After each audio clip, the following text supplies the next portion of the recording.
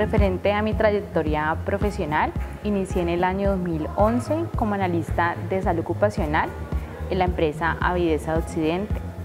Posteriormente, continué esa misma empresa con el cargo de coordinadora de prevención y control de emergencia hasta el año 2015.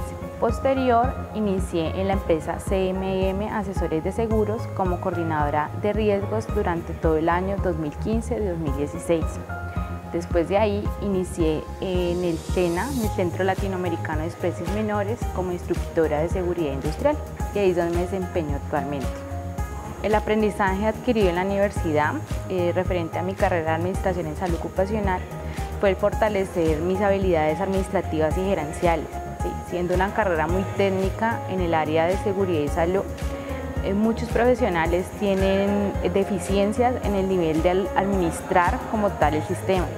Uniminuto de alguna manera me contribuyó a desarrollar esas habilidades administrativas y gerenciales para un sistema de gestión de seguridad y salud en el trabajo. La Uniminuto igualmente tiene un aporte social y ético que nos ayuda como profesionales, no solamente mirar desde el punto de vista técnico, sino también del poder contribuir a la sociedad.